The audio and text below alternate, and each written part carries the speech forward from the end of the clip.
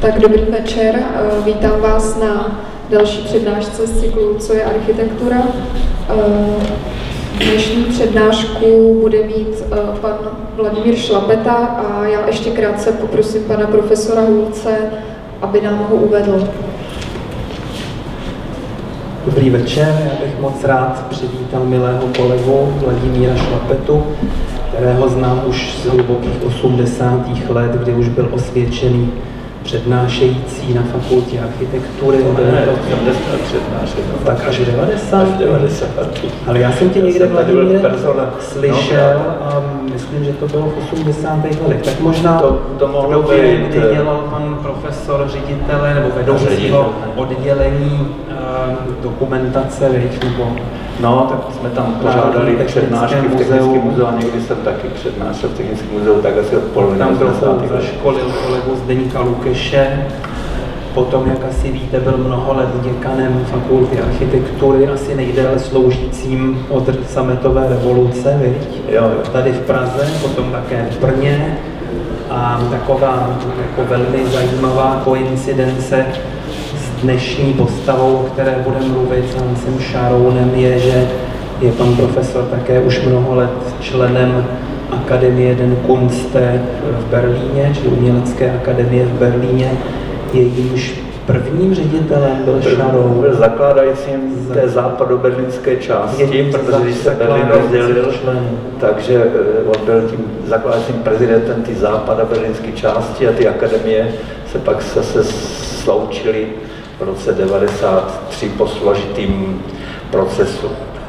A jinak se spolu také známe posled, blízce posledních několik let způsobení eh, ve sboru expertů památkové pražského odboru památkové péče, kde jsme vždycky tvořili takovou, pokud to mohu říct, liberálnější složku partizány. lidí, kteří takový partizány, co spíš podporovali v Praze moderní architekturu, což je mimochodem Vladimírovo celoživotní téma.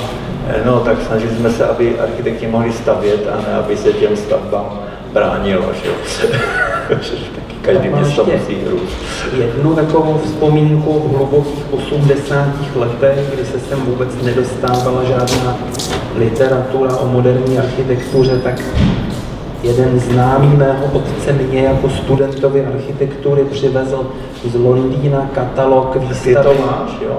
Český funkcionalismus, teď ho má Iva Dvořáková, která na to téma zpracovává dizertační práci. A teď s odstupem let jsem se tam dočetl, že eh, ten katalog zpracoval právě Vladimír Šlapeta a eh, design dělal Jan Kaplický, jo, jo. grafiku. Takže já už ti předám slovo, Dobře. Vladimír, pan profesor Šlapeta. Doufám, že se dnešní večer budete dobře bavit. Děkuji za to eh, pozvání a za ten úvod. A ta otázka, co je to architektura, je věčná. Že? Tak tu otázku můžeme pojmout z velmi různých hledisek, ale v zásadě architektura je, je fyzicky a psychický a ideový, ideový eh, prostě dokument celé naší existence. Eh, v 60. letech, to jste většina z vás ještě nebyli na světě, tak, eh, tak tuto otázku si položil časopis Der Bau ve Vídni, který řídil eh, Walter Pichler a Hans Hollein. A ta odpověď Hanse Holleina byla, všechno je architektura. Eh, a e, prakticky dneska jsme u toho, si vzpomínám v 90. letech, e, pro rektora Hlavička se mě ptali, jestli může e, taky pojem architektura použít v elektrotechnických pojmech. A dneska často se s tím setkáváme v politice, jako architektura určitých politických strategií a tak dále. Takže vidíte, že, že to zasahuje všechno. Co je to architektura? Architektura je vlastně úsilí o určitý řád, který může být velmi rozmanitý a možná proto jsem si vybral eh, toto téma. Eh, protože architektura taky je jediné umění, které je naprosto závislé. Že? Zatímco hudba je nezávislá, eh, architektura je skamenělá hudba, tak, jak řekl Schopenhauer, tak tak zkrátka zasahuje nás, ať chceme nebo nechceme. Já si vzpomínám, možná, že tím začnu a pak už půjdeme k tomu tématu. Jsem, jsme se stěhovali a moje žena si kladla podmínku, že se přestěhuje teda na těch Vršovic, ale musím se na školku. A bylo mi sympatický, že ta první školka nejbližší eh, byla z roku 1930 krásná stavba Vladimíra Fridy z městského stavebního úřadu. Teď se tam přišel a ta ředitelka mi řekla, a kde bydlíte? Já jsem řekl naši adresu. On řekl, tak to vám tu dceru nevezmu, protože tady nepatříte, patříte jinam do jiné školky. Já jsem řekl, paní ředitelko, ale já bych chtěl, aby moje dcera chodila do této školky. A ona se ptala, proč. Já si myslela, že, že to má blízko babička nebo nějaký takový důvod. Já jsem řekl, že je to pěkný dům. Nad tím se mi úplně vyrazil dech. Ona zůstala chvilku úplně bez sebe, mlčky, a potom řekla, tak já vám ji vemu protože to je strašně důležitý, eh, v jakém prostředí ty děti tráví většinu času. Tady máte vedle francouzský gymnázium, to je ta krásná škola, do které chodil jeden slavný německý architekt za války, protože jeho tatínek tady byl ředitelem cenového úřadu a nebyl nacistou. A ten mi řekl, že se stal architektem proto, že chodil do krásné školy a potom postavil Franz Josef Strauss, Strauss Airport v Míchově. Takže tady vidíte důkaz, jak ty věci vlastně souvisí s celou naší existenci. A mimo to souvisí to i s tím politickým klimatem a kulturním klimatem. Že? Tak, tak jsem si vybral teda tu postavu Šarouna, eh, ale tu neznámou postavu. To, že postavil Berlínskou filharmonii a že byl e, vlastně vůči osobnosti německé architektury po druhé válce, to se ví, ale méně se ví, jak se ta cesta vyvinula. Ve velice složitých podmínkách, protože i hranice té země se v různých časech měnily. Že? Tohle je Bismarckovo Německo, ještě s Lotrinskem a Elsaskem, východním a západním Pruskem. Toto je Německo mezi dvěma válkami s koridorem u Gdaňska a východním Pruskem. Toto už je rozdělené Německo ze štíhlé po druhé světové válce s tou oázou Berlína rozdělené na čtyři sektory, čili vlastně na dva sektory, na sovětský a na, na, ten, eh, na ten západní eh, tří vítězných mocností. A podobně se mění potom samozřejmě i, i to průčelí. ten, ten obličej, že jo, toto je ještě teda, sice je to z 20. let, ale je to ještě mladý obličej, potom ten obličej, který má za sebou strasti druhé světové války a obličej starce, který to má všecko za sebou, tak tím se budeme teďka chvilku e, zabývat, e, abyste viděli ten obrovský oblouk, co se dá vlastně za jeden život e, taky prožít a dokázat při jistých koincidence, jistým štěstí. Eh, a eh, takže jsou to vlastně jakoby tři životy, eh, což se podařilo několika architektům, například Altovi nebo Wrightovi. To jsou taky architekti, kteří mají vlastně několik vrstev, jakoby několik životů. Tohle je rodina, ze které Hans Sharon vyrostl. Asi vás překvapí, že to jméno Sharon pochází z Čech, Eh, protože pradědeček Hanze Šarouna, Wenzel Scharaun, který byl švec, se přestěhoval roku 1811 do Brém a eh, tam se etabloval a rodina žila vlastně celý 19. století v Brémách. A tatínek Bernhard zase měl české povolání. On se stal ředitelem pivovaru, to je přece jasně český povolání. A e, když bylo e, tomu střednímu synovi tři roky, e, tak se rodina přestěhovala z Brem do Bremerhavenu, kde byl právě jmenován ředitelem pivovaru Karlsburg, který ještě existuje. Tatínek byl katolík, maminka byla evangelička z Lineburgu, to znamená z dolního Saska. A zajímaví byli někteří příbuzní. Jeden strejček byl kovářem v Lineburgu, druhý strýček byl hlídačem, jak se to řekne, Leuchtturm, majáku na, na moři.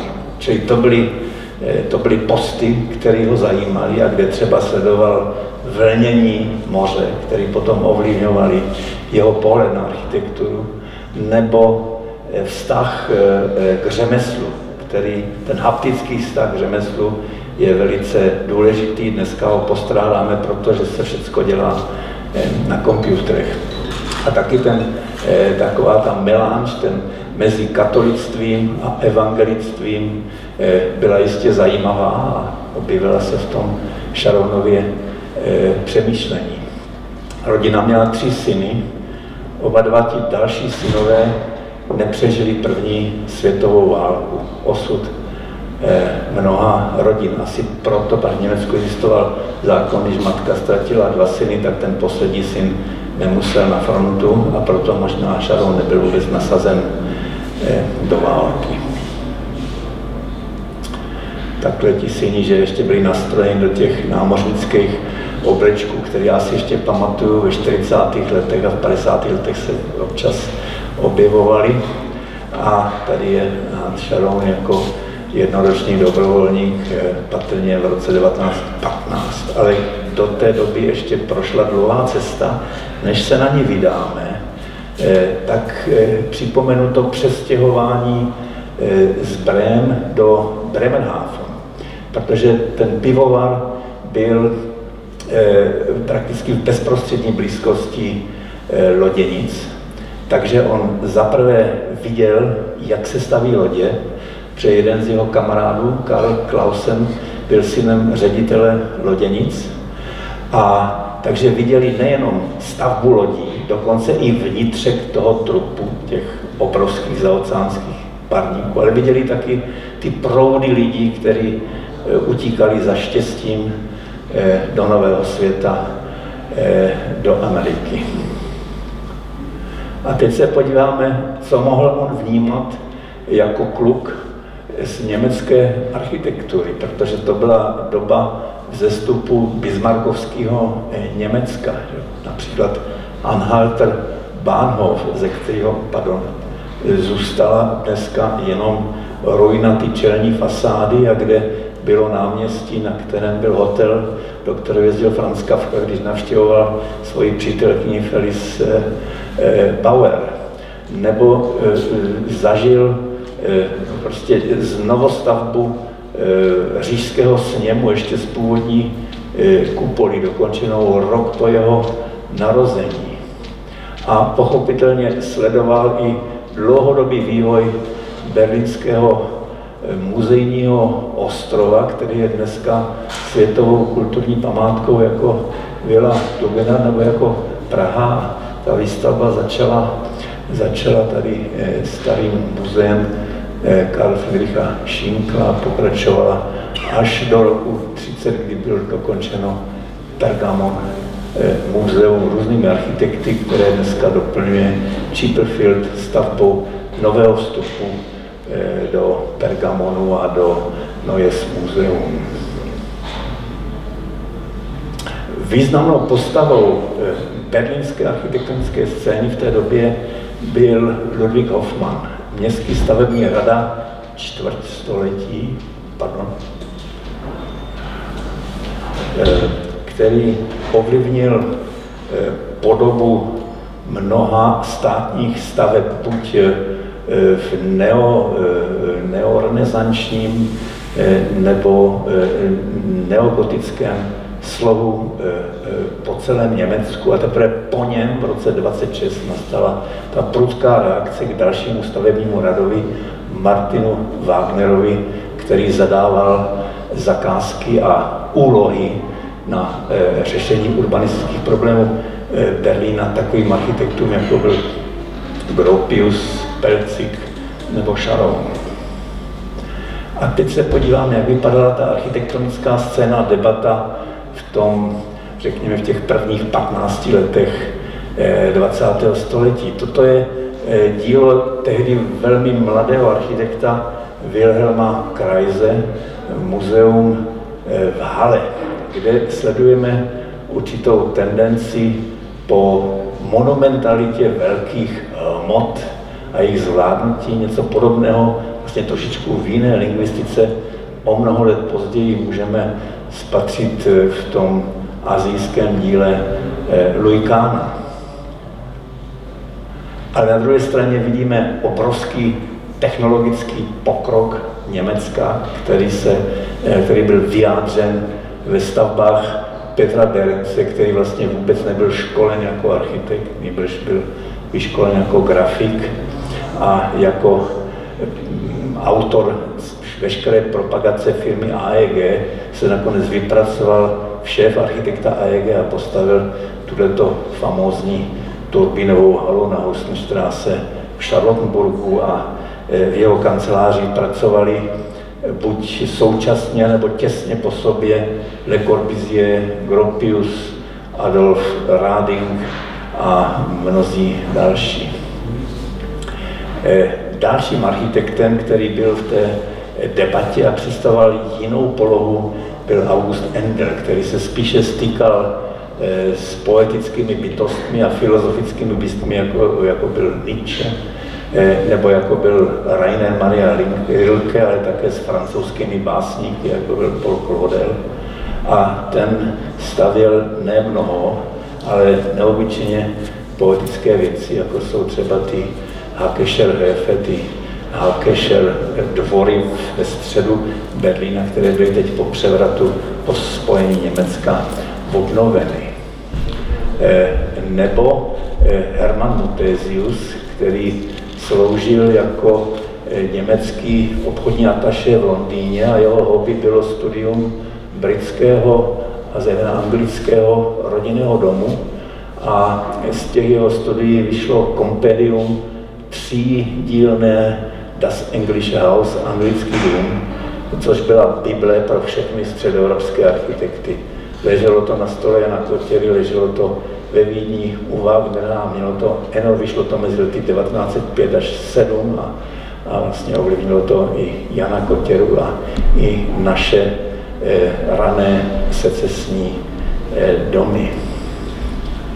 Eh, no, pak ještě byli další architekti, kteří samozřejmě ovlivňovali tu poměrně širokou, to spektrum, tu paletu německé architektonické debaty. Mezi nimi byli architekti, kteří absolvovali normální architektonické školení jako Alfred Messel, autor například obchodního domu eh, Wertheim na Leipziger Platz, čili pár kroků z postupimského náměstí, zbořeného, anebo Hans Pelcik, jeden z mála, který skutečně byl vyškolen dokonale jako architekt ještě na konci 19. století, 19. století a byl také spojen s německou industrií a postavil například úžasnou chemickou továrnu v Lubani, což je předměstí Poznaně, které tehdy patřilo k pruské říši. A e, zvlášť byla pozorodná ta, e, ta, ta štítová fasáda, vlastně prakticky bez otvoru, jenom s malými polokruhovými otvory, která prošla samozřejmě světovým architektonickým tiskem. A tu debatu ovlivnili i dva vlastně zahraniční architekti působící v Německu. Van de Velde, který původně byl eh, pointeristickým malířem v Paříži a získal jméno eh, grafickým stvárněním a plagáty pro belgický průmysl eh, na konci 19. století, byl Harry Grafem, hrabětem Kesslerem doporučen do Berlína, kde začal potom projektovat napřed interiéry a hned potom byl jmenován ředitelem umělecko-průmyslové školy ve Výmaru eh, a postavil budovu Bauhausu a posledně i ten svůj eh, pan, vlastní rodinný dům na Berlín eh, ale který pak představoval v rámci německého Werkbundu tu polohu individualistického architekta. Proti poloze racionalistického architekta, kterou prezentovali eh, Gropius a z těch starších Mutézius. K tomu ještě za chvíličku dojdeme. A konečně to byl taky Kotěrův kamarád, opavský rodák Josef Maria Olbrich, který po úspěchu své kupole vídeňské secese byl, byl zangažován ve vodou Hesenským, aby postavil uměleckou kolonii v Darmstadtu s vilami osobitého Eh, bych řekl, radostného stylu. Olbrich byl synem pekaře, tak to vypadá trošku, jako kdyby eh, ty jeho štíty byly jako to vykynutý těsto v té jejich opavské pekárně na Ratibořské ulici.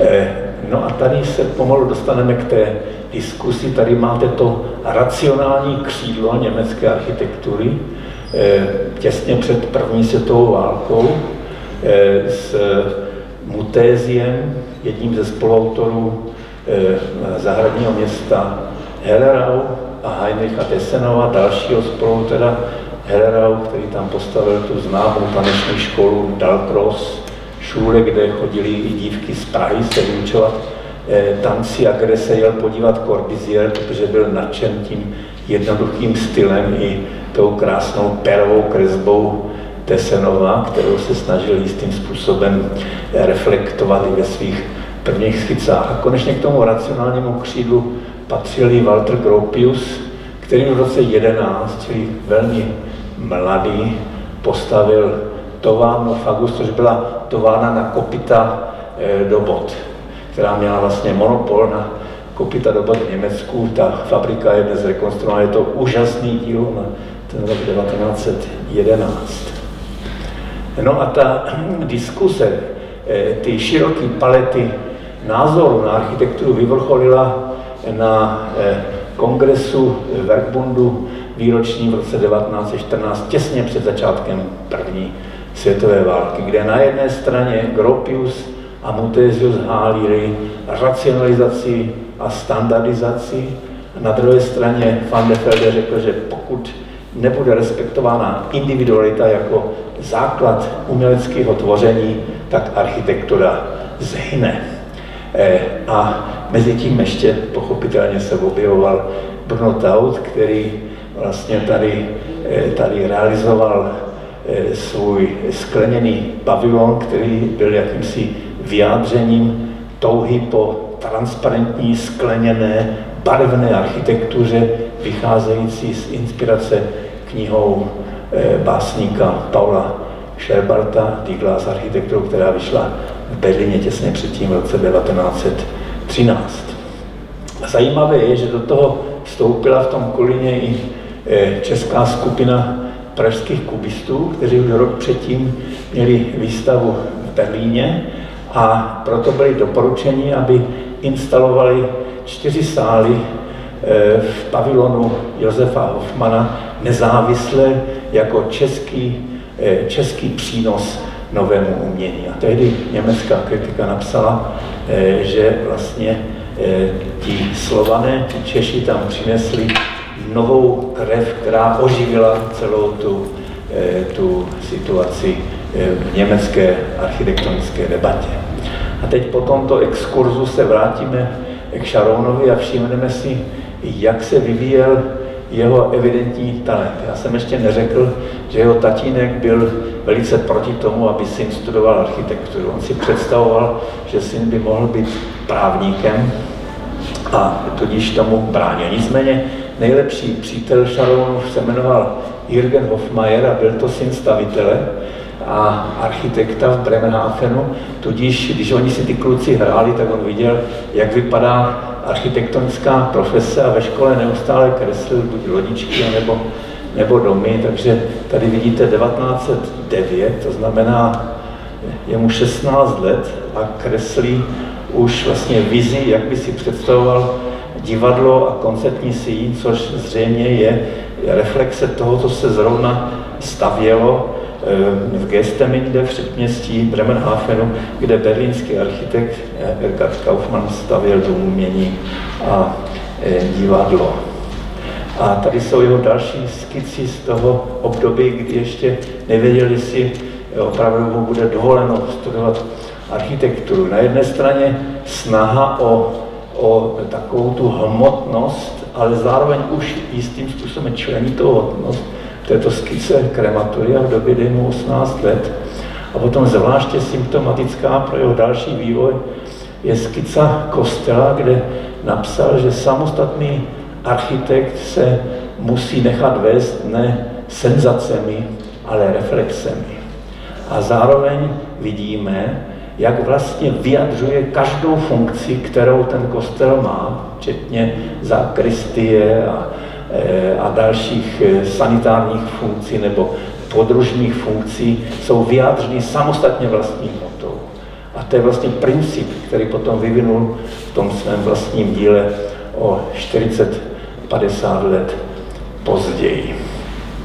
Jiné skici ukazují teda zcela evidentně vliv těch eh, vil na umělecké kolonii v Darmstadtu od eh, Josefa eh, Maria Olbricha a je tady vidět jednak ta, ta spontánnost, ta radostnost, kterou ty věci kreslí. A za druhé teda je to jasný talent 18-letého kluka, že to je naprosto e, zřejmé a dokonce hned v druhém semestru se už účastnil architektonických soutěží. A teď, jak se na tu školu dostal, to bylo celkem tradiční způsob při takových rodinných konfliktech.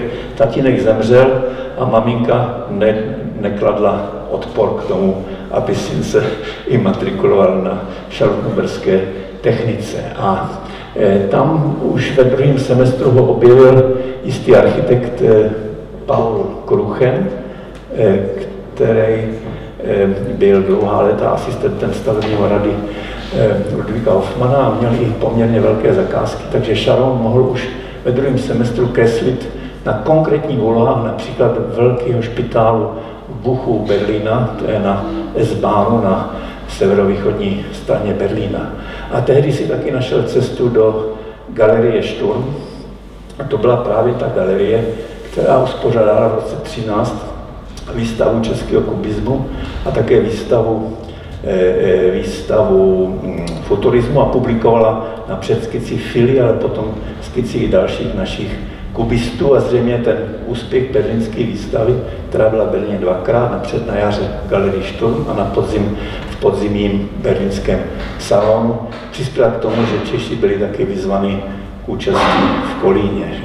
Tady je Herwart eh, Walden a jeho portrét a toto je Paul Scherbart, který vlastně ovlivnil ducha té galerie svou knihou Die Glass Architektur. On zemřel ještě za první světové války. A Sharonovi skici z této doby, vlastně z doby, kdy byl studentem třetího semestru v roce 14 narukoval a s okolností ten, eh, eh, ten jeho eh, šéf a mentor Paul Kruchen, starý rozšavný dědeček, ho vyreklamoval do svého pluku Eh, do východního Pruska k rekonstrukci východního Pruska. A tam měli možnost prostě použít 20 tisíc eh, zajatců hm, z východní fronty, eh, kteří pracovali potom buď i dokonce v té projekční kanceláři, anebo také na, na staveništích opravy válkou zničené o východního Eh, Pruska. Tam vlastně vznikly první Šaronovy stavby a vypadalo to asi takto. A tady už z toho snímku vidíme, že zřejmě Sharon už v tom roce 1915, kdy mu bylo prostě 21, 22 let, že už tam hrál vůči roli, roli. To poznáme podle toho, že ty perspektivy jsou evidentně kresleny Sharonovou rukou na, na zdech. A tady vidíme, jak konzultuje od stolu ke stolu dál zatímco Paul Kruchen, který byl kapitánem pruské armády, to tak jako supervizíruje lehce. Ale ten vztah eh, zůstal mezi nimi velice, eh, velice dobrý eh, ještě déle a, a Kruchen vždycky Sharonovi pomáhal se prosadit i později. To jsou ty první věci, které Sharon postavil, například přestavba bývalý konírny na protestantskou kapli a skici, které zase už referují eh, k, k inspiraci galerie Sturm, kde předváděl Bruno Taut eh, své vize koruny města. On měl prostě různé koncepce cirkul, kruhových městských útvarů, které by vyvrcholily buď kultovní nebo kulturní stavbou. A to byla jedna z těch ideí německé expresionistické skupiny. Tady vidíte, jak to pojímal Sharon během války. To jsou ty běžné stavby, které rekonstruoval v tom východním Prusku. A teď válka skončila v listopadu, Německu 11. listopadu 1918. A co teď?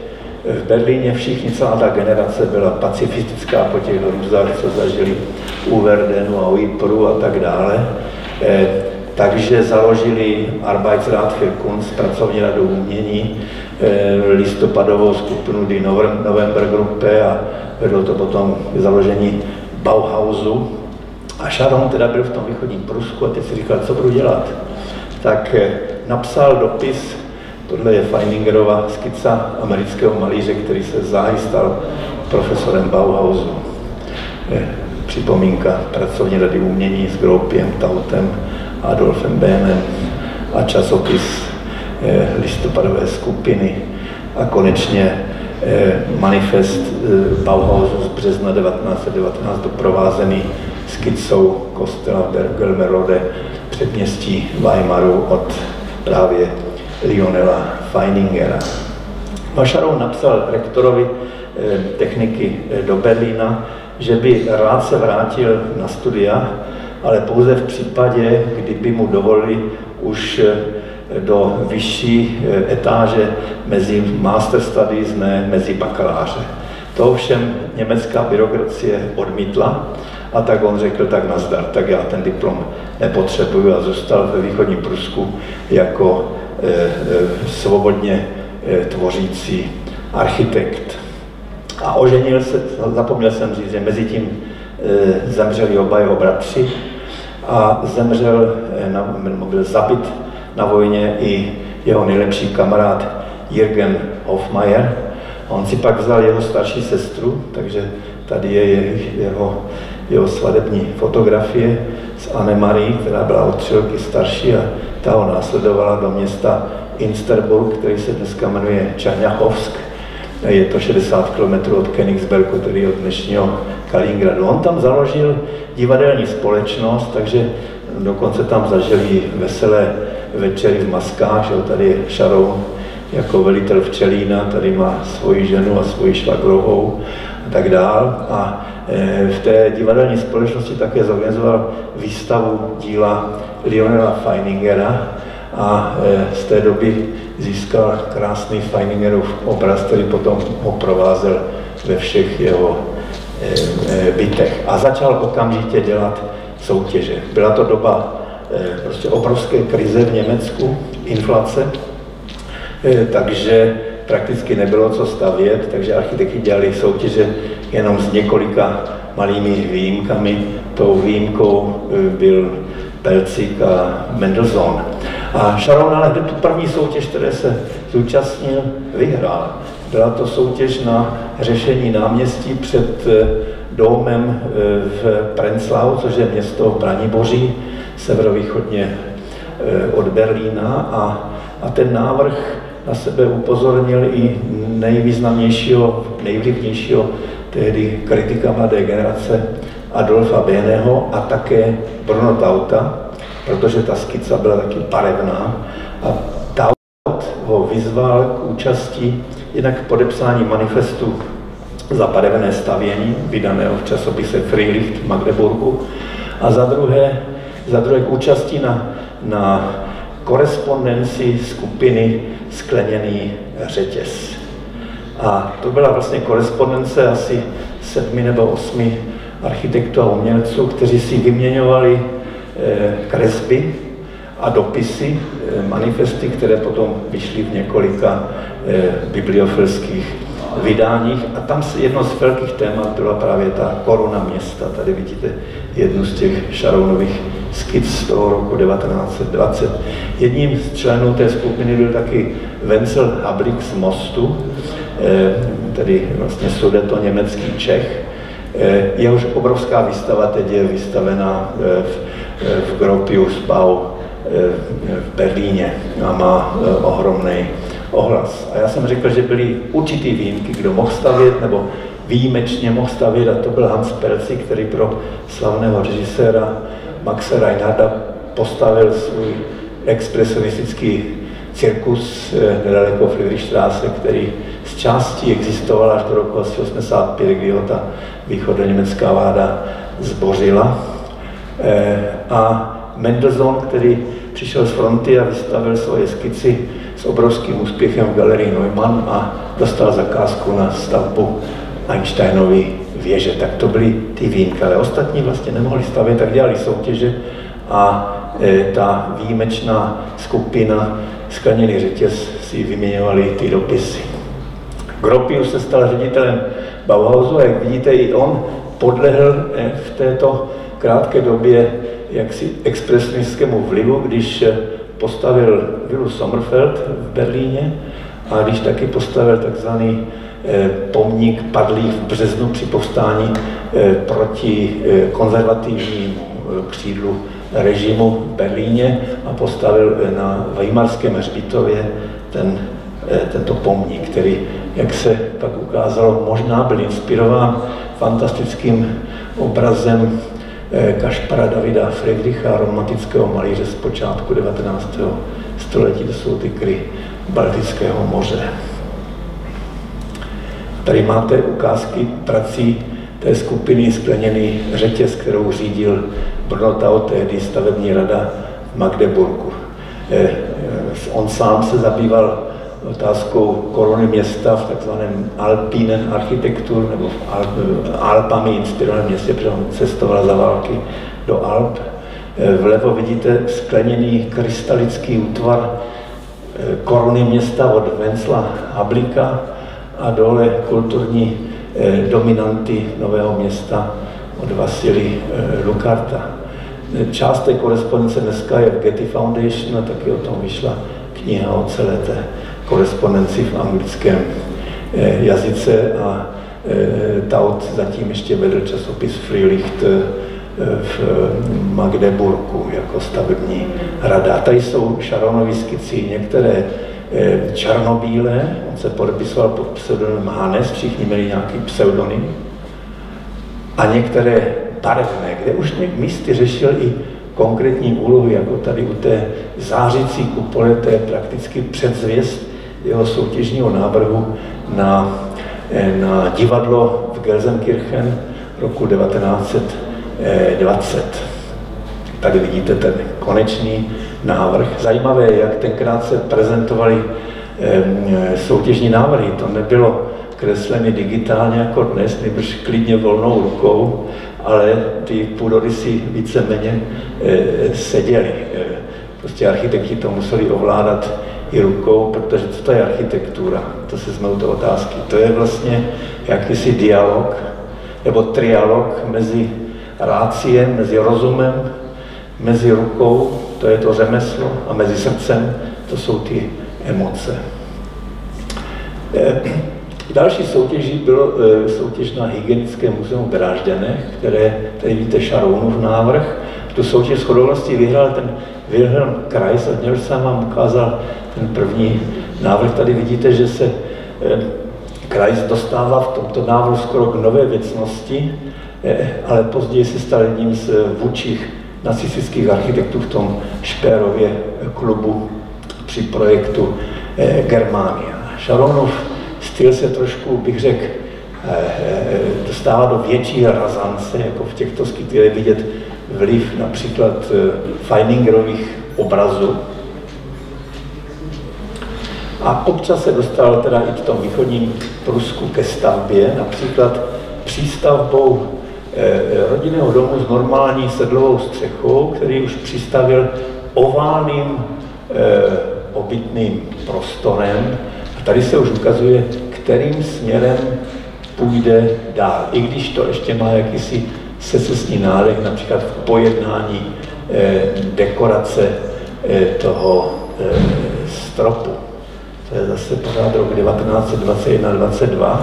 A v roce 22 získal první úspěch přímo v hlavním městě Berlíně, když získal odměnu v soutěži na mrakodrap v Dirstraße zníže nejslavnější návrh Miss van der který nebyl oceněn, ale který potom dále vyvinul Mies v tom návrhu toho eh, cirkulárního mrakodrapu, který publikoval v časopisu G v roce 1922.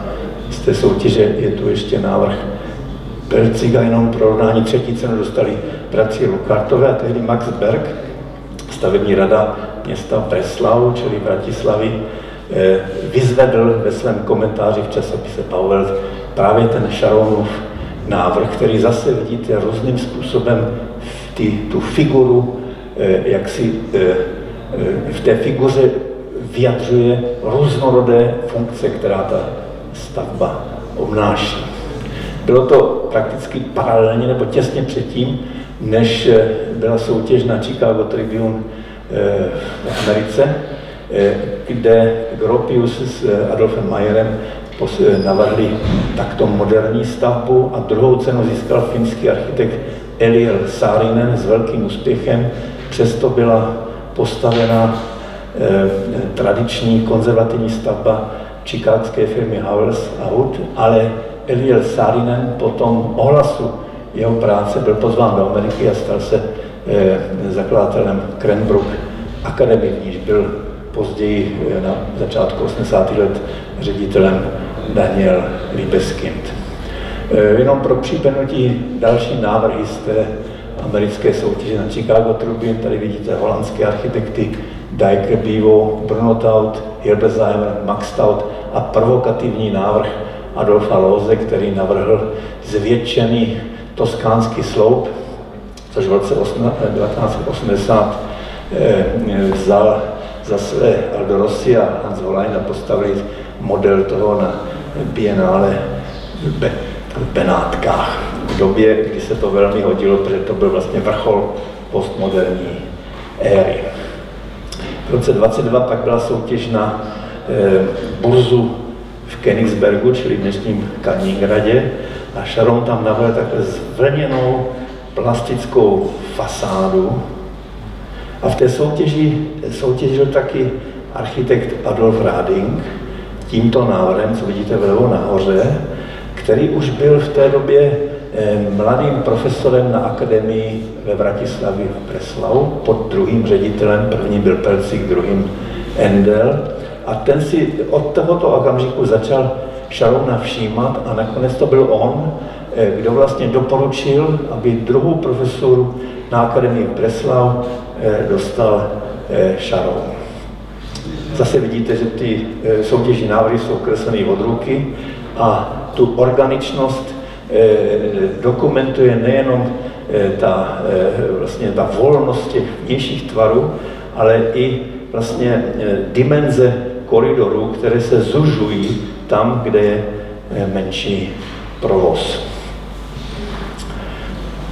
Na východním Prusku ještě Sharon postavil nedaleko Insterburgu sídliště, které teď objevil jeden spolupracovník Reman Kolháze, ruský architekt Suchin, který tak dlouho eh, tam dělal rešerše, až to sídliště našel a nyní se snaží, aby našel peníze a sponsorship, aby se to sídliště obnovilo do původního stavu. Eh, nakonec eh, Sharon postavil i obytný blok na, na Sadové ulici, kde se i ubytoval a měl svou kancelář. Byla to stavba s oblými, balkóny a parapety. Eh, eh, a tady je první případ takového dialogu mezi eh, Sharonem a Mendelssohnem, který měl také svůj background ve východním Prusku, narodil se v Olštíně, Wallenstein. Tady vidíte, že co Sharon udělal v roce 24, o dva roky později podobně varíroval Mendelssohn a později uvidíme zase naopak, že že zase Sharon vlastně použil určitý motiv eh, Mendelssohna.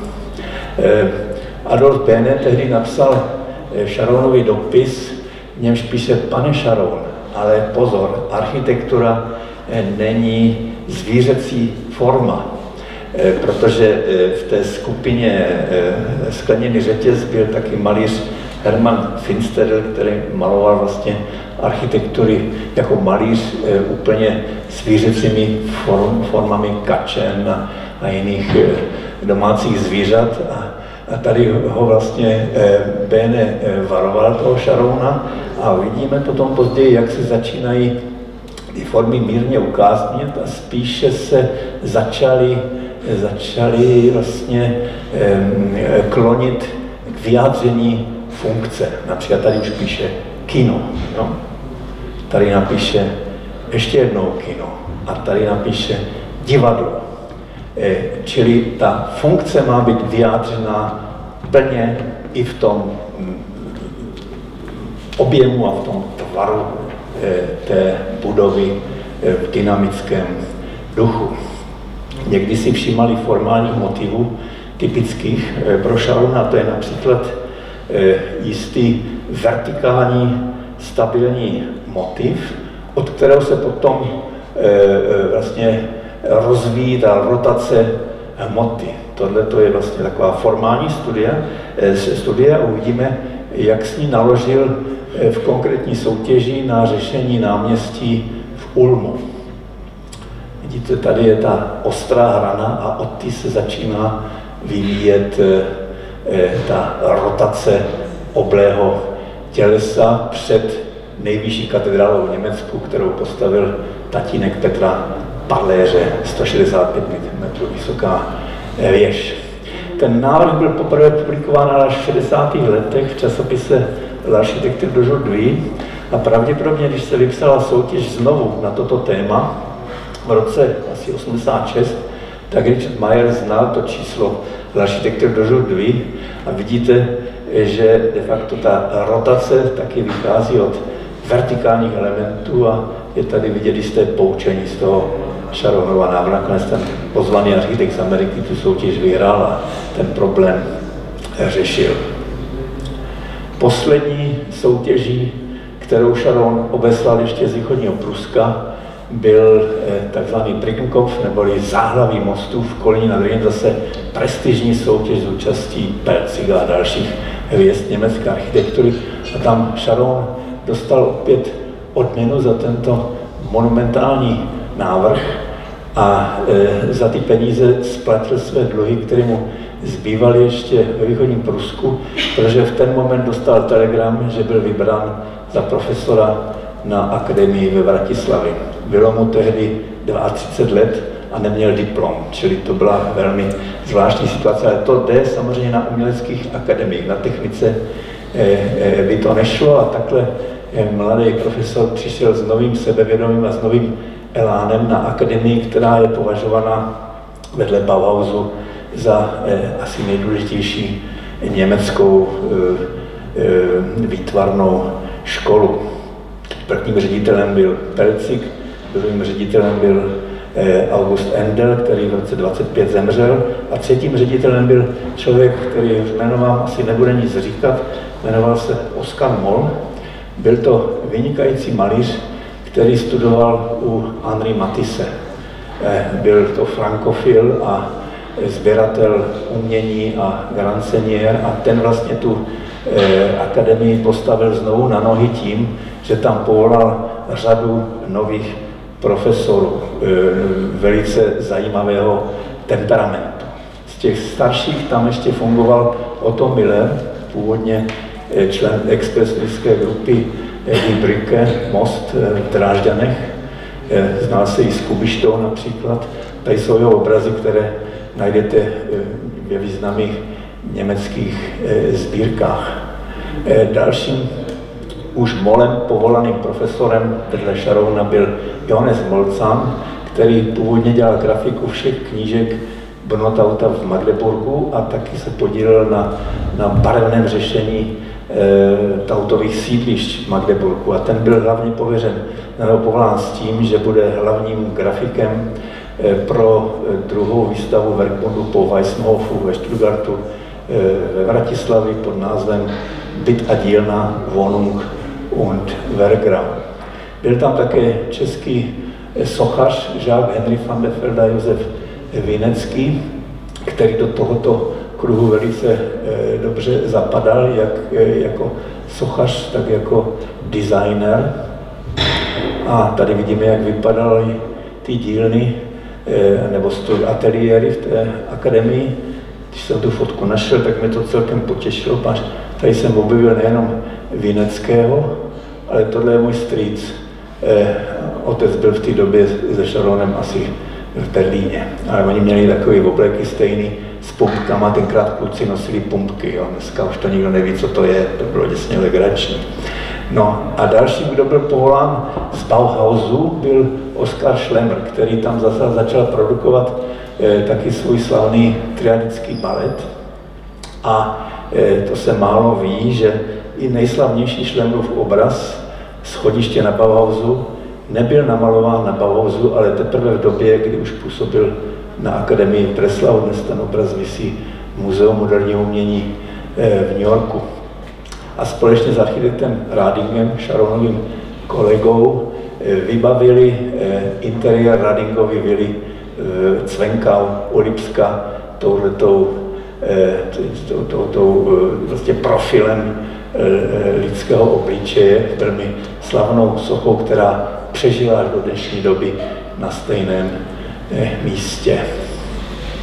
No a Sharon dělal potom soutěže, ale věděl, že ve Vratislavě je velmi konzervativní klima, protože Max Berg rezignoval v roce 25 jako stavební rada a Ernst May, který byl ředitelem Schlesische Heimstätte a vedl výstavbu bydlení zejména pro přesídlence z východní části Slezska, od Katovic a tak dále, eh, byl povolán eh, za eh, stavního radu Frankfurtu, takže vlastně to moderní křídlo na magistrátě bylo slabé, takže Sharon i Rading vlastně sledovali uplatnice v Berlíně.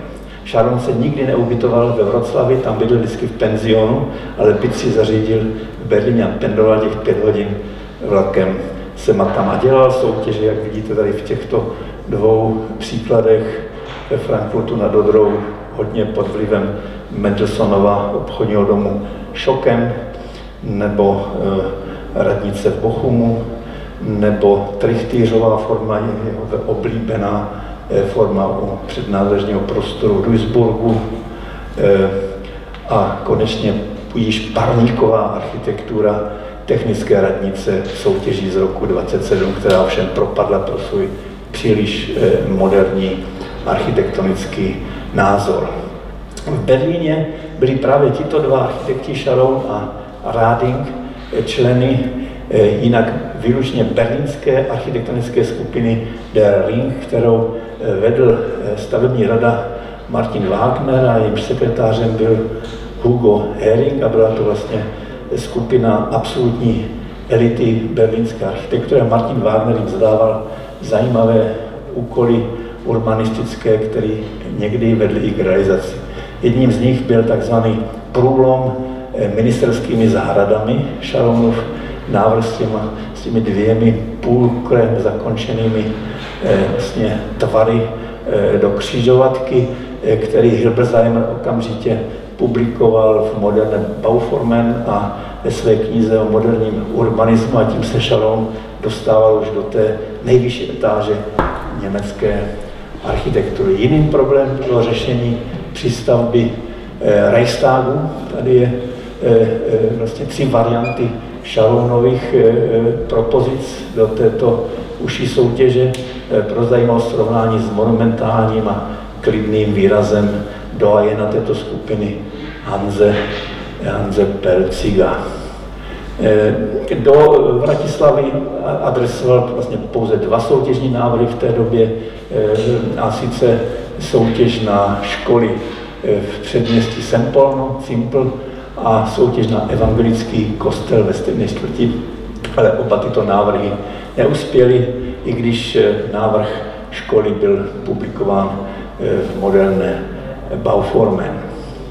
A konečně je tu návrh na justiční palác v Mábitu.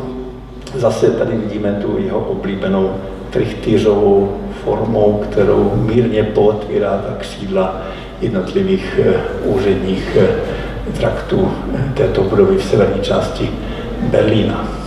Ale aby se dostal ke stavění, k tomu potřeboval vlastně jedině Werkbund, eh, který vlastně zaštítil tu moderní architekturu a tak vlastně byl eh, jedním z těch, kteří byli vyzváni, aby se zúčastnil eh, výstavy bydlení ve Stuttgartu.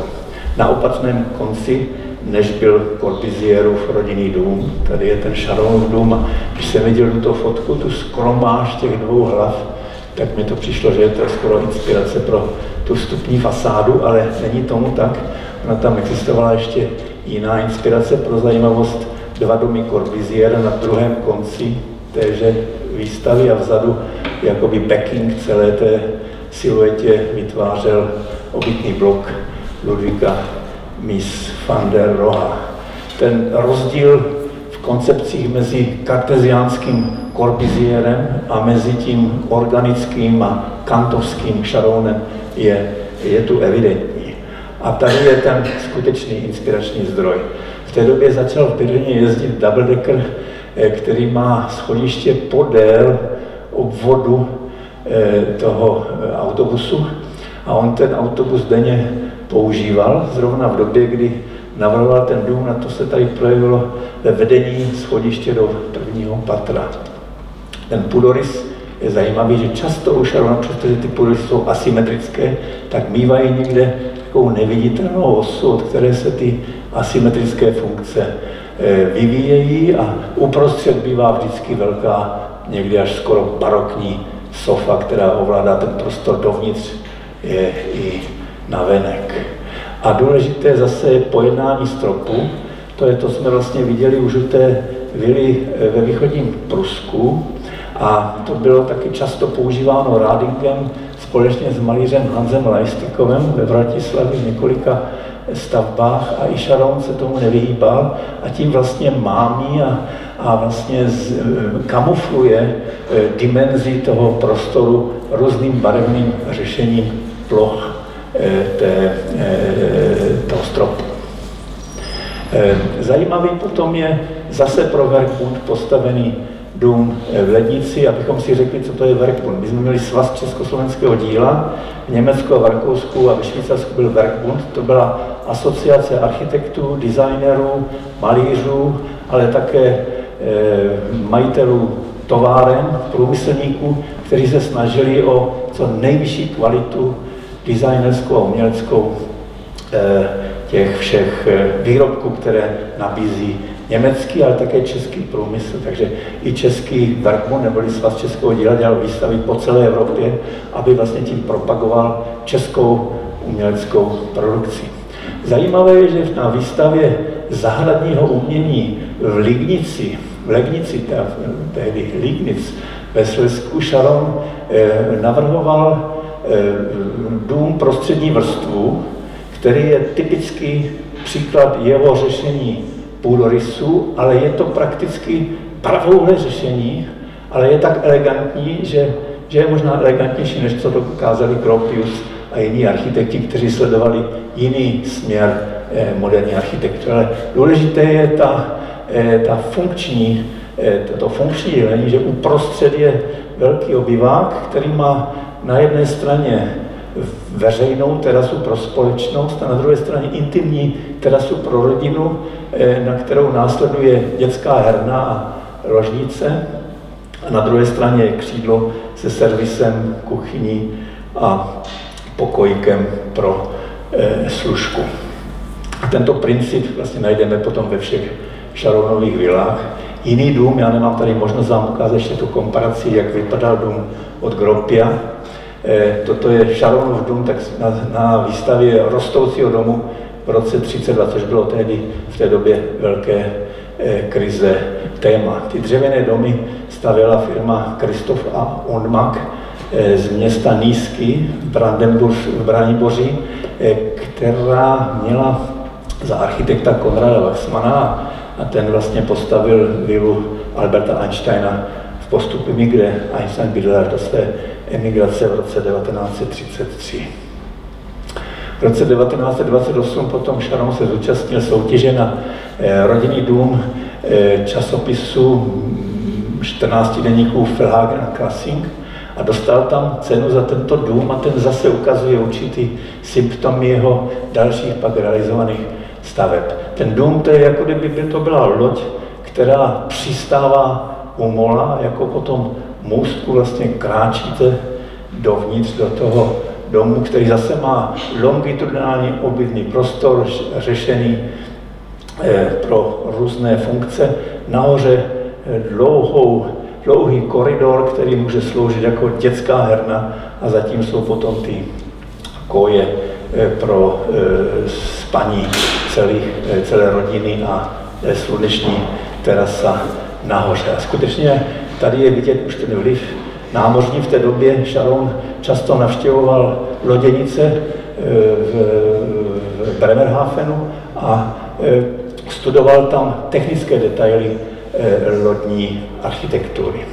A tady je potom výstava Wohnung Background 1929, byt a dílna, kde Sharon a Rading postavili dominantní budovy. Tohle je Radingův dům, tohle je Sharonův dům, mezi tím jsou menší rodinné domy, je to v bezprostřední blízkosti haly století od Maxe Berga, postavené k velké jubilejní výstavě eh, ke stému výročí poražení Napoleona eh, Německém. Tohle vynecháme a teď se podíváme, jak vypadá takový parník od Adolfa Radinga. A pak se podíváme, který měl teda eh, stejně velký půdorys všech bytů s různým variabilním řešením a vidíte, jak to nakreslil malíř Drobek, který měl nahoře na terase svůj ateliér. A Sharon postavil takzvaný Vonheim, druhý parník na té výstavě. Jehož zajímavostí je to, že na tři etáže eh, má jednu chodbu.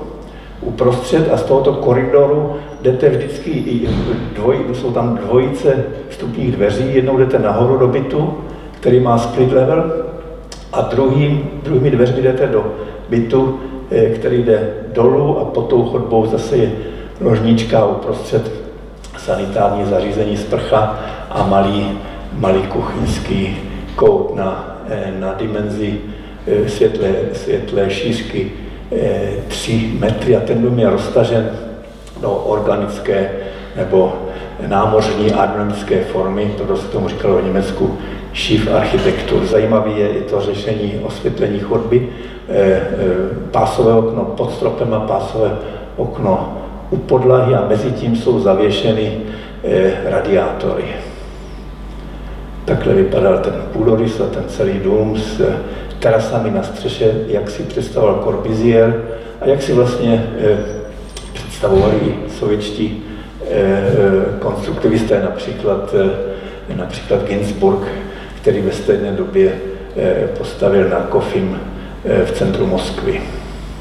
Tak tady vidíte ten promenoir architekturál, jak to nazýval Corbusier, na těch terasách.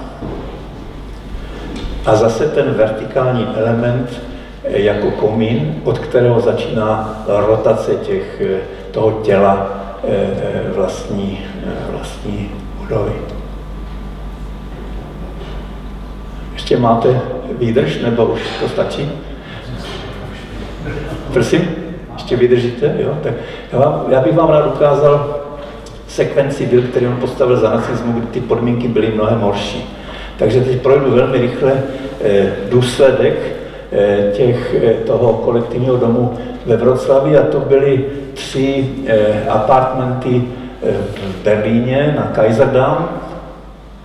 Vidíte zase ten námořní tvar, na Hohenzollerdom a tady, tady vidíte zase, jak naopak Sharon trošičku zopakoval Mendelssohna, protože toto musel Sharon znát, to je v centru Vroclavy obchodní dům eh, Petersdorf od Mendelssohna a podobné řešení nároží udělal eh, nikoli jako obchodní dům, protože jako eh, obytný dům s loďiemi Sharon na té Hohenzollerdom.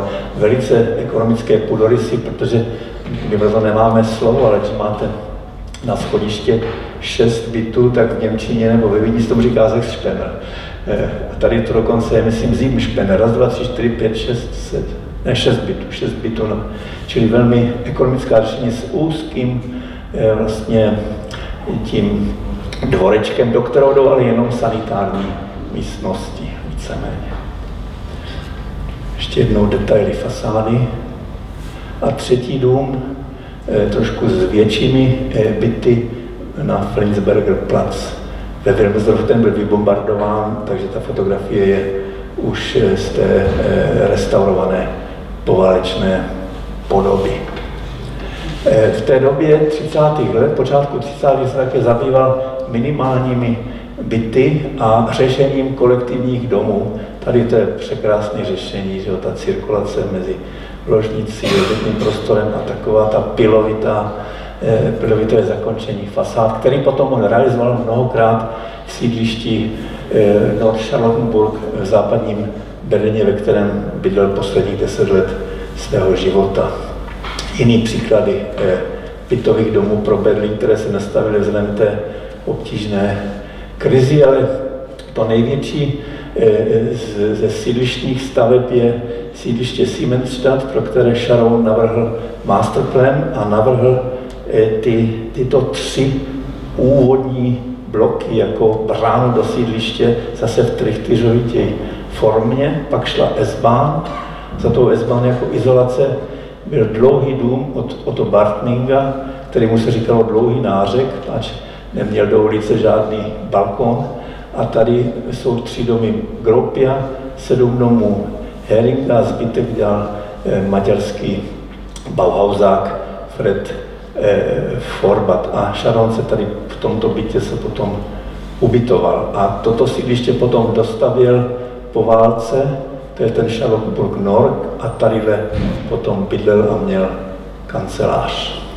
Od roku 60, od roku 60 ano, do smrti v roce 72, když to tady bydlel od roku 30 do roku 60.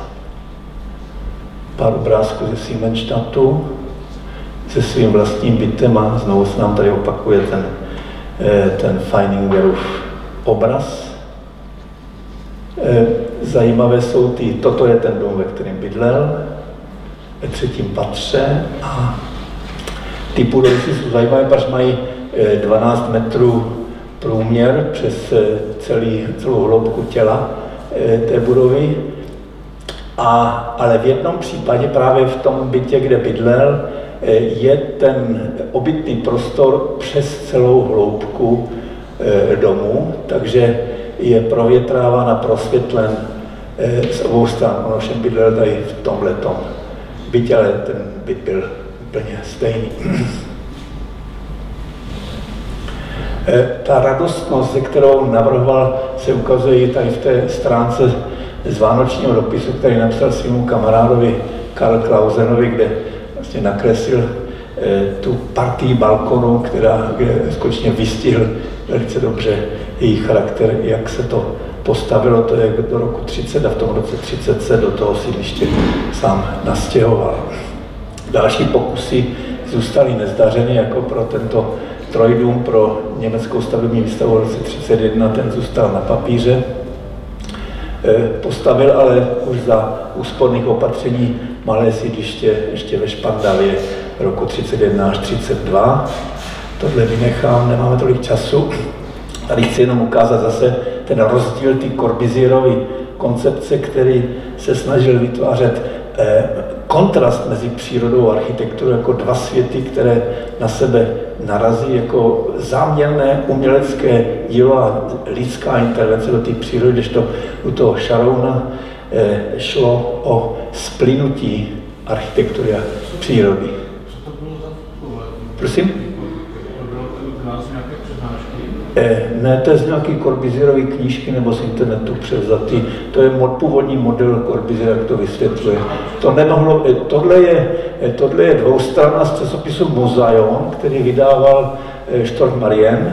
A tam vyšla právě, protože Corbusier se dozvěděl o tom, že Tajge ho strašně skritizoval, nechal si to přeložit a když jel do Moskvy vlakem, tak měl hodně času, pak to dlouhá cesta, tak napsal dopis Vesninovi, respektive dopis, který věnoval vestínovém nalose obrana architektury, kde vlastně vysvětloval Tajgovi, jak to je, pač Tajge nebyl architekt, a byl to ideolog, tak Corbusier mu vysvětlil, že architektura ještě má tu vrstvu té poezie.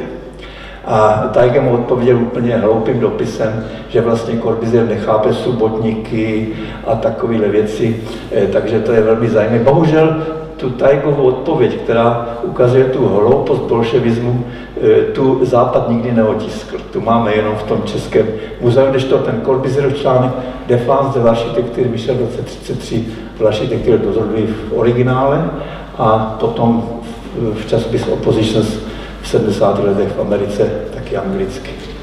Tak ještě jednou se podíváme na fasádu Vily Sava od Corbusiera a uvidíme, jak i tyto věci reflektoval ten Sharon, který měl jinou koncepci. Vidíte, že taky se snažil v té první skice e, na vilu ve městě Lebau, tady za naší hranicí, že by to auto vjelo až ke vchodu pod tou terasou, čili motiv z vily Savoie ale e, ten pozemek tomu úplně nevyhovoval, protože ten pozemek e, byl orientován na sever a to tělo muselo být velice úzký, aby z jihu šlo světlo průsvitně celým úzkým tělem e, domu.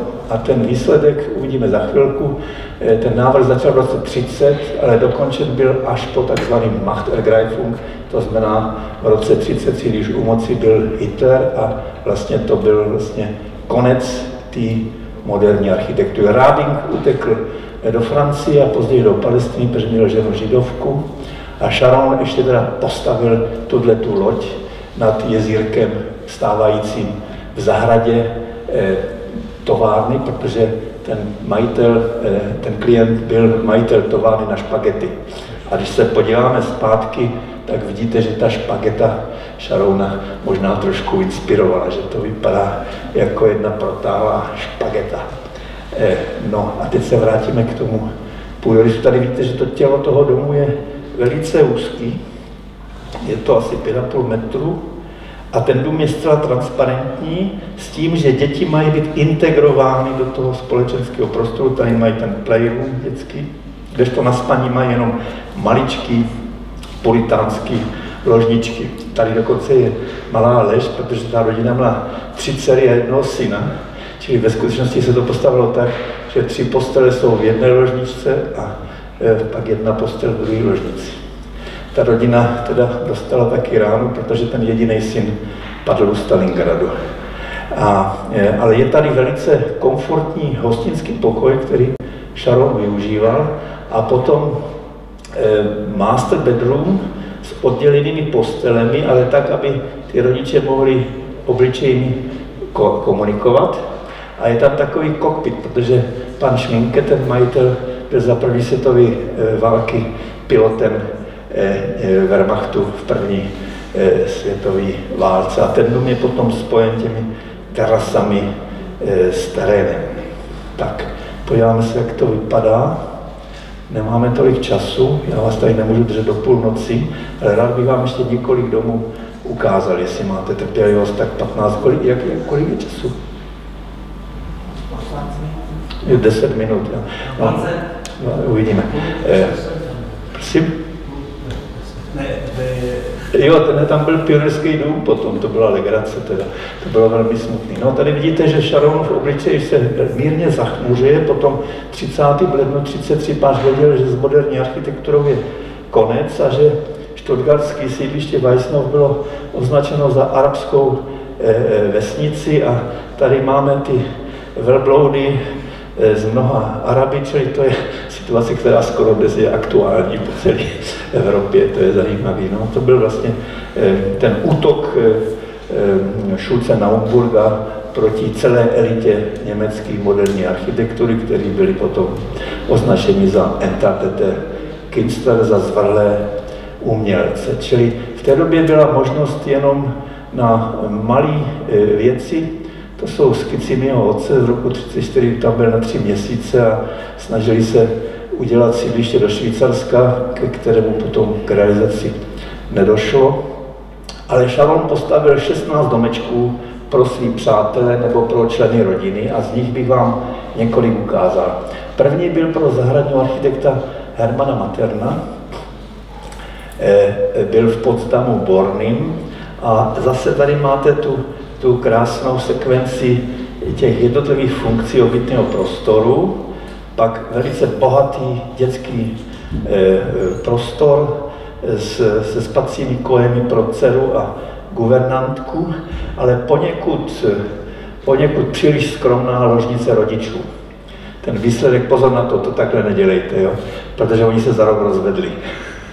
Jo, takhle nedělejte manželskou ložnici, to nemůže dobře fungovat. Ale jinak ten dom má ještě jeden fígl, a to je, protože už to bylo pod eh, nacistickými eh, policejními předpisy, že to nemohla být rovná střecha, takže ta střecha je mírně sedlová, ale má rabicový pletivo a mírný oblouk uvnitř, mír, mírná klenba, což dává tomu prostoru ohromný šunk a navíc podlaha má asi sklon 2%. Eh, a i to dává tomu prostoru jistý švung a tady ta skoro barokní sofa stojí uprostřed. A i tam vlastně potom použili relief Oskara Šlemra, který byl umístěn zde, pak byl nějak za nacismu odstraněn, ale ku podivu tam bydlel umělec eh, z východního Německa, který proto měl smysl a nechal ten, eh, ten relief obnovit. Další vila byla pro eh, významného činovníka AEG v Berlíně Felixe Benše na úžasném pozemku eh, ve Špandavě na Weinmeister, na, na vlastně na, na temení, na vrcholu eh, hory eh, s výhledem na olympijskou regatu a tady máme zase takovou tu vějířovou šarounovskou kompozici. To bylo právě v době, kdy tam otec byl ty tři měsíce, tak to celý prokresloval. A původně v tom finálním návrhu byla byla ta sofa takto otočená, nicméně v realizaci to Sharon otočil naopak další, další rok. A to je, když otec naposled byl v Berlíně před válkou v roce 36, tak tu vilu navštívili. Pak se neviděli 27 let, protože doba byla náramně těžká. Tady vidíte ten tyž půdorys eh, už s úpravou Sofy a jak dnes ten dům prorůstá do zahrady. Dnešní majitel je je slavný eh, berlínský rentgenolog, který má ordinaci na Kurfisterdam. Tak to je, myslím, ten nejkrásnější dům, který Sharon postavil eh, v těch nacistických dobách a z ulice to muselo vypadat úplně nenápadně jako obyčejná chalupa a teprve do, do zahrady se vlastně ta svoboda mohla rozvinout. A tenhle princip je u všech těch domů. Já vám možná některý z nich ještě ukážu. Vidíte, jak Sharon začal hubnout v té době, protože eh, ten proviant už nebyl a pak už nebyly ani cigára, tak musel kouřit fajfku. Tady je jiný dům, menší, to nechám bez komentáře, ale ukážu vám tenhle ten dům. Oscar Moll stal taky zvrhlým umělcem a postavil si vilu v Berlíně podle Sharonova návrhu, která má dva ateliéry, protože on byl malíř a jeho žena byla Eh, byla sochařka, takže toto je ten malířský ateliér a na druhé straně směrem k jezeru Halenze je sochařský ateliér. A je to vlastně eh, lozovský ramplan, který je eh, zorganizován do spartánského kubusu, tak to je pravý opak, to je ramplan, který je rozvinut do té přírody a vlastně se zcela potom s tou přírodou splývá. Bohužel ten dům byl v roce 1944 vybombardován s většinou prací Oskara Mola s jeho sbírkou umění, včetně azijského umění a obrazu Matisse a tak dále. Ehm, pro sběratele obrazu pak postavil maličký domeček Braniboří na Cernice Z. Ten vám ukážu tady, podívejte se, ono to z ulice vypadá, jako kdyby to byly dvě podláži nahoře vlastně ehm, podkroví pro spaní, ale není tomu tak. Ten dům je vlastně využit vnitřním prostorem až do té horní hrany, čili de facto jako stan. A to je ten princip, který on potom použil v berlínské filharmonii, že budova je stanem. Tak tady to vlastně e, začíná. E, ten galerista si tam potom schoval e, celý svý sbírky avantgardního umění, protože v Berlíně se bombardoval prakticky každý večer. A ještě vám ukážu zase jiný dům, vidíte z ulice úplně pro svého švagra, úplně nenápadný, ale toto je zajímavé. To dokonce vypadá skoro, jako kdyby to dělal, dělal Schmidhener z ulice, ale teď vejdete dovnitř, to je zase pro jednu sběratelku obrazu na Miguelstraße, a vevnitř zase ten dům je exploatován až po tu horní hranu, až po ten hřeben, opatřen balenou klenbou, eh, s dřevěným leštěním a s, prostě s expozicí soukromou moderního eh, umění. Konečně poslední dům, který vám ukážu, je, je dům pro eh, Augusta Endela syna, to byl syn architekta Endela, který vynalezl Eternit a nechal si u postavit dům, který má vlastně jako takový kubický tvar s jehlancovou střechou a k tomu je přistavený jako adice, jako anex obytný prostor, který protiná zimní zahrada, která jde až do střechy. Takhle vypadají ty interiéry a v těch interiérech August Endel junior pořádal tajné přednášky, které nebyly možné v té době dělat eh, na veřejnosti. To už je rok 1938 až 40, situace se horšila a najednou byl Hitler na vrcholu moci. Jak ta doba vypadala, ukazuje dopis, který napsal Herring Sharonovi v lednu 40. Eh, asi se píše mu, že veškerý majetek nepatří Heringovi, ale že patří Sharonovi, protože on mu dluží hodně peněz.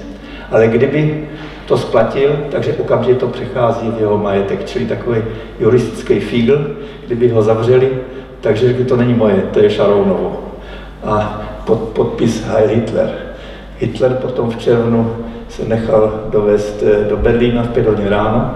Den předtím zavolal eh, Štérovi a sochaři Brekrovi, že si mají nechat ušít moderní unif- nové uniformy a přiletěl na letiště Leborže o půl šesté a šel rovnou takhle brzo do opery a potom jsou ty slavné záběry, jak promenují Kajfelově věži z Trocadera, to je tady ta fotka. To byl vrchol jeho kariéry, začal projekt Germania, naštěstí od té chvíle to šlo velmi pomalu, ale přece jenom z kopce.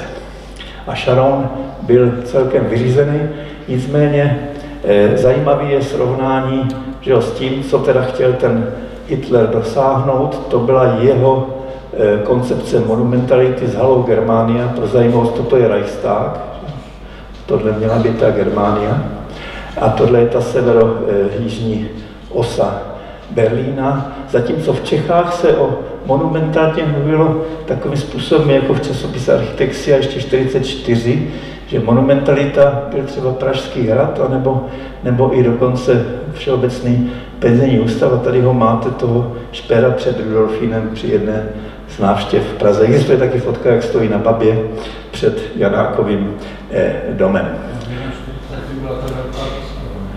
41. No a tady jsou, tady jsou Sharonové kresby, které v té době dělal. Tady vidíte, jak se vlastně vůbec nebyl schopen adaptovat na tu realitu a jak vlastně si vytvářel vize nových společenských prostorů města. Každý večer ve sklepě. Některé tvary už předjímají eh, berlínskou eh, filharmonii.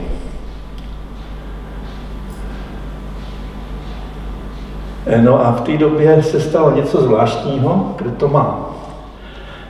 Jeden soused Šarounův, který bydlel v tom domě v Simenštatu, měl nějakou misi v Olomouci. To byl jediný říšský Němec, který směl navštívit náš byt. A otec mu prošel a poslal tuto knihu, kterou náhodou tady pan profesor měl ve své knihovně. Přesně tohle vydání Plitzkovi Prahy. A Sharon na to reagoval krásným dopisem, to je jedno z nejkrásnějších líčení, eh, jak má, jakou má představu urbanismu a Prahy jako města eh, zahrady. Zajímavé, že v té době jeho zahradní architekt Herman Maten sloužil na pražském magistrátě a znal se se všemi těmi mými profesory ještě, kteří jsou dneska všichni už eh, v pánu. Toto je poslední skica z 25. května 45, která je úžasná. Jo, tady vidíte text dalšího dopisu. On tam byl asi tři měsíce, ten pan Háze, takže dvakrát vezl Šaronovi dopisy psaný na hrozným papíře, páč dobrý papír už nebyl. A Sharon někde taky kritizoval otcový projekty, tak například ten, ten půdorys hned ukazoval, jak by se dal vylepšit v těch dopisech. To jsou věci, které se měly po válce stavit, ale pak došlo k znárodnění, tak se už nestavěly. A Sharon pokračoval v těch skicách až do posledního dne války. A ta poslední skica je úžasná. Že? To je, on totiž byl taky na, angažován, aby odklízel ruiny v některých částech Berlína. A tady je vidět, co to s ním udělalo psychicky, jako kdyby z těch ruin vyrůstala ta nová korona města. A to se mu potom, to ještě nevěděl, se mu pak podařilo eh, tu korunu města vlastně postavit v podobě berlínské filharmonie. A 17. 17 května 45 sedl na kolo, Pařínak tam v tom dopise taky píše, že jezdí na kole Pařínak, už to nejde, a taky, že má radost toho šlapání, pář zve často šlapání, nebo pošlapávání, tak sedl na kolo a jel asi těch 12 eh, kilometrů ze Simenštatu k radnici. A tam našel svoje jméno, že je novým stavebním radou, to znamená ministrem stavebnictví toho zničeného Berlína. Takže on byl vlastně ministrem stavebnictví ten první rok, do roku 46, a vytvořil první výstavu se takzvaným strukturovým plánem eh, přestavby Berlína, který byl vystaven v ruině berlínského zámku zbořeného eh, v roce 50. Na to měl vliv nejenom ti západní aliance a Gropius, který jim zřejmě radil z Ameriky, ale taky eh, ruský generál Berzarin, první velitel Berlína, který prej se vyznamenal tím, že zabraňoval znásilňování německých žen, ale taky brzy zahynul za záhadných okolností. Hned v červnu eh, byl na sajtkáře nějak zabit. Ten byl dost populární v Berlíně, dokonce se podle něho jmenoval jeden, jedno náměstí. Jo, a to myslím, že je krásný konec. Ale já vám ještě ukážu tu berlínskou filharmonii, protože je možný, že někteří ji neznají. Tak a tím to zakončím, abyste viděli, že tu korunu města postavil.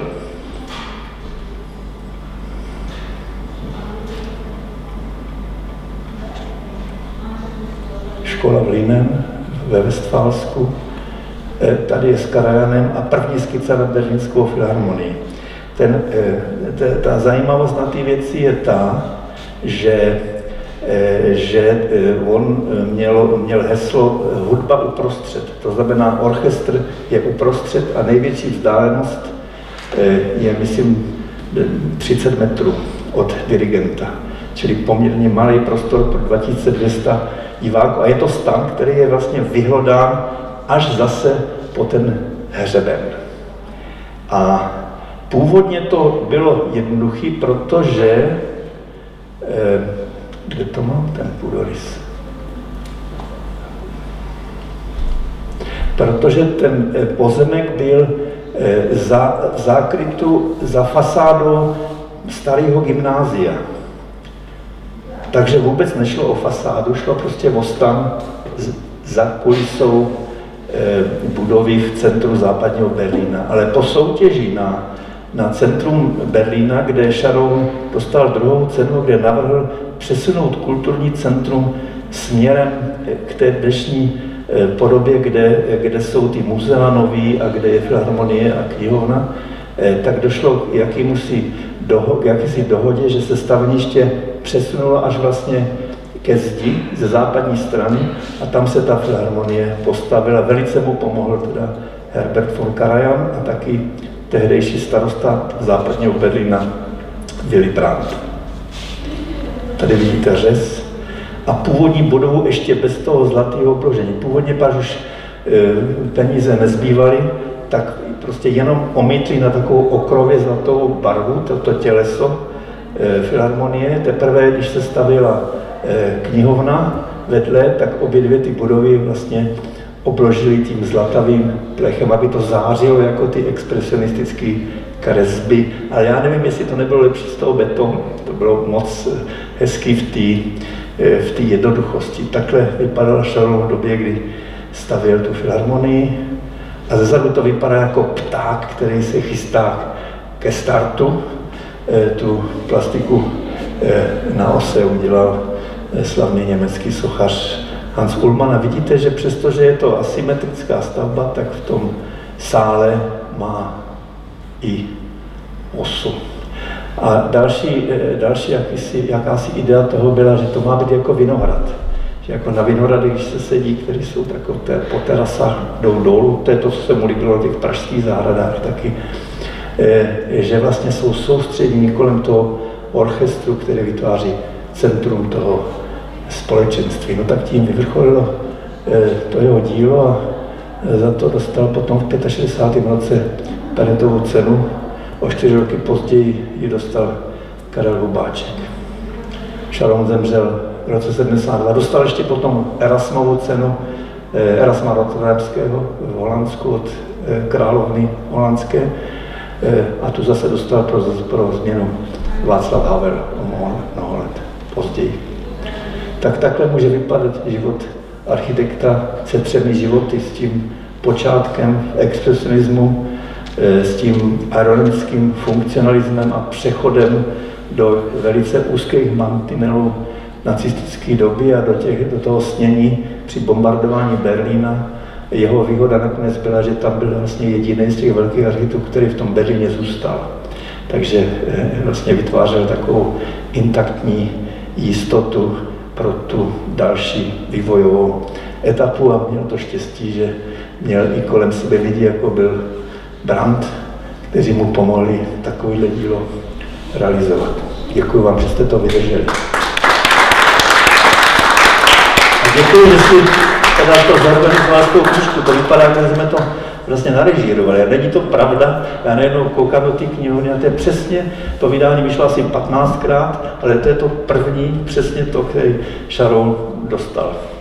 Tak děkuji. Jestli máte nějaké dotazy, tak můžu zodpovědět, ale myslím, že toho máte plný zuby.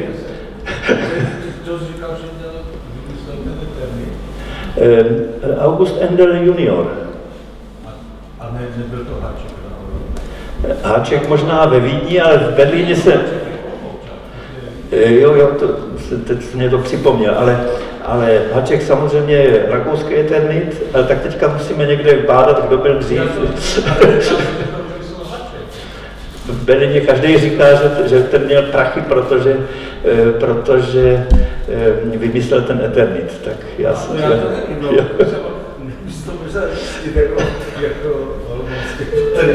Jo, jo, tak zkusíme něco udělat. Dobrý, tak ještě nějaký dotaz? Tak eh, já děkuju. Zeptám se tady, jestli máte někdo nějaký dotaz. Eh, já bych možná měla jenom takovou poznámku, já jsem teda na chvíli odběhla, ale při té vaší přednášce mě vytanulo na mysli jediný slovo a to je Gesamtkunstwerk, že vlastně v té době ta architektura byla komplexní umělecký dílo a napadla mě teda otázka, jestli si myslíte, že je možný, že třeba ještě někdy ta architektura takhle bude působit jako v budoucnu.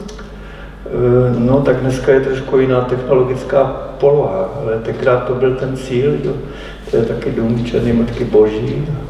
Eh, tím se to dostává do podobné eh, do podobné konstelace. Dneska je to opravdu, třeba se o to snaží Síza, že? ten vždycky jde mu o to, aby mohl i nábytek navrhovat a všechno do poslední, ale k té možnosti se dostat Eh, kterou má Síza, to není tak jednoduché. To je velmi dlouhá, eh, dlouhá cesta a normální architekt si asi o tom musí dát jenom snít. No ale může to zkusit, čo? tak e, to je riskantní cesta, co podnikl ten Šaroun a co podnikli jiní výborní architekti.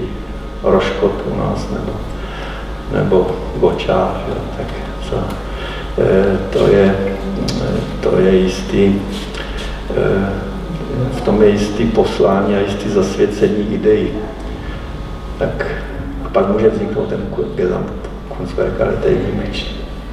Tak jo, tak eh, já děkuji moc a ještě bych vás rychle pozvala na příští přednášku, kterou budu mít Filip Heisler a bude to 11. prosince opět zde od 6 hodin. Já bych ještě chtěl taky poděkovat. Chtěl bych Ehm, ti poděkovat za to, jak ta přednáška byla ehm, koncipovaná v tom širokém kontextu, což je jako pro mě ten obrovský zážitek. Přestože jsme tu přednášku zažili v takhle komorním obsazení, tak bych si to vlastně jsem si to tím víc užil, protože myslím, že jsme dostali takový masterpiece přednášení, No, opravdu takový šperk. No. Eh, Ale kdyby ses neurazil, když tak náhoda nám takhle nahrála, já ti No. tušku dám. Ježíš, no já, jsem, já jsem to už asi pětkrát koupil a totiž, že ji nemáš, takže no, protože se mi vždycky rozdá, někomu tak to aspoň poděkování No, tak to je úžasný. tvoji úžasnou přednášku. To, to mě připomíná, že jednou jsem měl přednášku o Korbizerovi v, v Budějovicích, tvým, kde od, pochází tvůj rod. A tam jsem dostal takhle po přednášce právě ten časopis s tím článkem Obrana architektur, eh, architektur od Corbiziera, protože v antikvarátě jsem to nikdy nenašel. Tak někdy člověk musí mít štěstí. Tak děkuji za to štěstí. No, no. Mimochodem tuhle knihu doporučuju, když jsem ji kupoval, tak ten antikvariář mi říkal, ona to byla taková nacionální věc, v době války si ji všichni Češi kupovali, protože vyšla v roce 1940 jako Plickovu Prahu, jako symbol odporu No. domů. Každá rodina to měla Ten antikvariář tvrdil, že jako skutečnost byla, že když nás obsadili Němci, tak si tu knihu objednali s, ve spolupráci se Zdeňkem Virtem u Karla Plicky jako profesionální fotodokumentaci Prahy, protože už předpokládali, že by spojenci mohli rozbombardovat. Takže si objednali takhle dokonalou dokumentaci, ze který se stal potom symbol odporu proti nacismu. Takže taková zábavná Eh, historka. Já, já myslím, že to bylo tak, že Wirt, který byl sekčním šéfem na ministerstvu školství a národní osvěty, že měl nějaký budget, eh, který používal například, že architekti jako podzemný eh, a Polášek zkreslovali eh, lidové stavby v Čechách a na Moravě.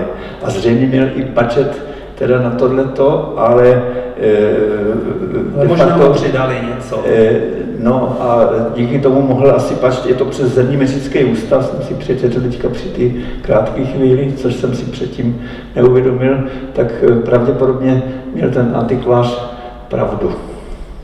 Ještě jednou děkujeme a všem hezký večer. Prosím, kuria, samozřejmě, ano.